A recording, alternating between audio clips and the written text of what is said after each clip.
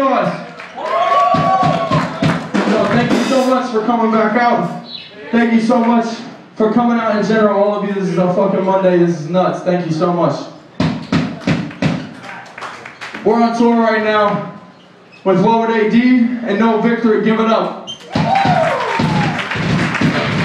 All three of us have merch in the back.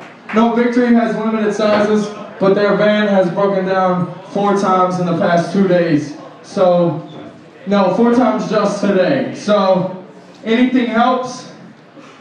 They would really appreciate it. We would really appreciate it. We would hate if they had to drop because that band's incredible.